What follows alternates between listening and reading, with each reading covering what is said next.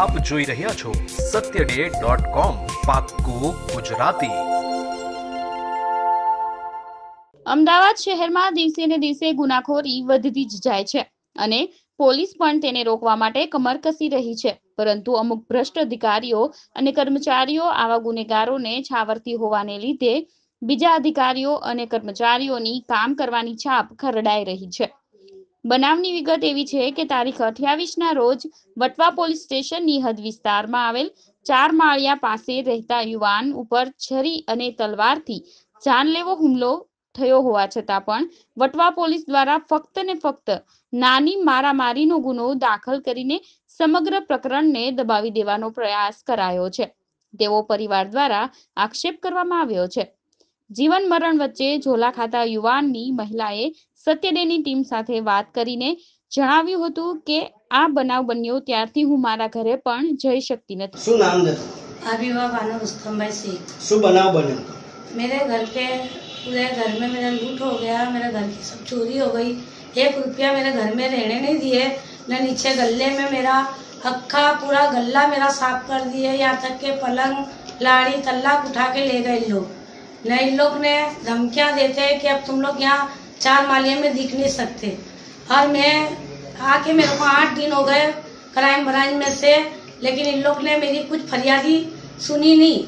और मैं गई भी फरियादी करने तो इन लोग ने बोले कि हाँ हमने लिख लिए। लेकिन इन लोग ने लिखा कि नहीं लिखा मुझे खबर नहीं। फिर भी अभी तक मेरे को वो घर पे लेके गए नहीं कि देखने के, कि क्या लूटा, कि क्या नहीं लूटा। मैंने बोली, मेरे इतने सारे पैसे थे तीन से चार लाख रुपए थे दागिने थे। ने मेरे घर, दुकान के अंदर इतना सारा माल भरेला था। सब दुनिया का सामान मेरे दुकान में था।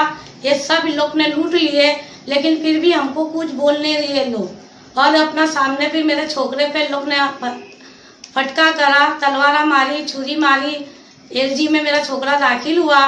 फिर भी लोग अपना गए फरियादी करने तो लोग ने कुछ जवाब हमारे को दिए नहीं और हमारे को बोले हमने नहीं लिए कौन करे तो हम लोग?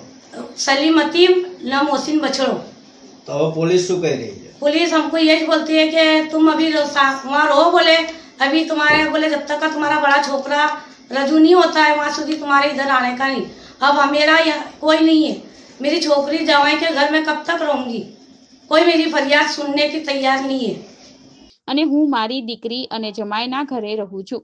મારા ઘરનો તમામ સામાન અને ઘરેણા જેવી વસ્તુઓ પણ મારા દીકરાને મારનાર લોકો લૂંટી ગયા છે. છતાં પણ વટવા પોલીસ દ્વારા લૂંટનો પણ ગુનો દાખલ કરવામાં આવતો નથી અને ઉપરથી અમોને ખોટા કેસમાં ફસાવી દેવાની ધમકીઓ આપવામાં આવે છે. વટવા પોલીસ સ્ટેશનના પીઆઈ અને વહીવટદારને વિસ્તારમાં ઠેર ઠેર ચાલતા દેશી અને ઇંગ્લિશ દારૂના અડ્ડા ઉપર પૈસા ઉઘરાવવામાં જ રસ હોય તેવું લાગી રહ્યું છે.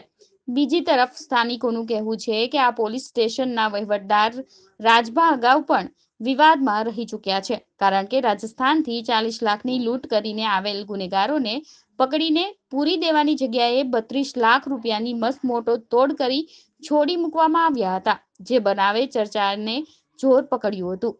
અને હાલમાં પણ આ પરિવાર દ્વારા પણ કહેવામાં આવી રહ્યું છે કે શું અમારા ચોરી થયેલા દાગીના વહીવટદારે તો ખેલ નથી કરી નાખ્યો ને? જેવા અનેક આક્ષેપ પરિવાર દ્વારા કરવામાં આવી રહ્યા છે.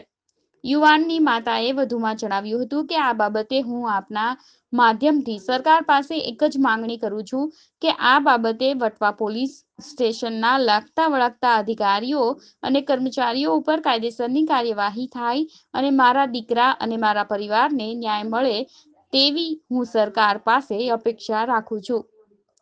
Satyaday dot com, Ahmedabad. Welcome to the Rann festival a time for this stark land to don the colorful robes of festivity. Breathe in this air of celebration and excitement. Breathe in a bit of Gujarat. YouTube પર જાઓ અને અમારી channel Satyaday dot કોમને subscribe કરો અને બાજુમાં જે નાની ઘંટી છે તેમને ક્લિક કરો જેથી અપડેટ ન્યૂઝ તમારા સુધી પહોંચી શકે